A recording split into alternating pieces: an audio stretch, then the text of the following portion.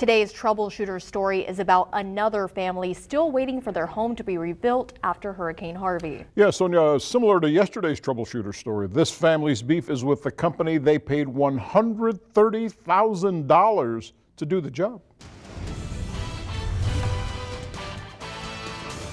Dennis and Beatriz Limon say they've lived in this house for 28 years until Hurricane Harvey forced them out. They've been living in this trailer ever since. Three months after Harvey, the Limons signed a contract with United Built Homes to rebuild their home. It was going to cost me $182,000, in which I gave them 130,000 down. Did you catch that? Limon gave United Built Homes a $130,000 down payment in December, six months ago, to make his house a home again. But every day we walk out of that trailer and we look at this and we think about $130,000 and it's gone, you know, and we still don't have a home. Limon says it's been a while since any work has been done. There are stacks and stacks of building materials spread across his property. Materials he claims have just been sitting outside absorbing snow and rain and wind and heat and humidity, the weather. And because of that, he wants some of the materials already used replaced. He wants his home back. You gave me the price, I paid the price, I signed all the paperwork.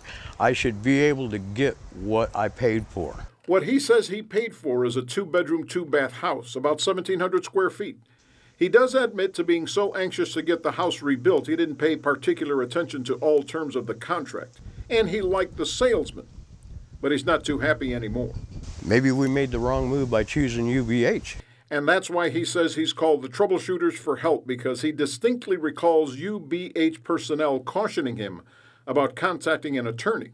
They told me that if I speak the word attorney to the corporate office, they will stop working on my house. I said, well, they ain't working on it now, so what does it matter? We spoke with Brian Glass, a regional manager with United Built Homes. He acknowledges that there have been delays in this particular project, some weather related, others business related. For instance, substandard work done by some of the subcontractors UBH hired to do the work. Other delays, Glass told us, are due to the Limons making significant changes to the framing plans. They downsized from three bedrooms to two. He also said UBH doesn't give guaranteed completion dates, but he assured us that they'll do it right. Of course, we're going to keep following this one. As always, whenever you need our help, just give us a call. 885-0100 or email us at troubleshooters at kztv10.com.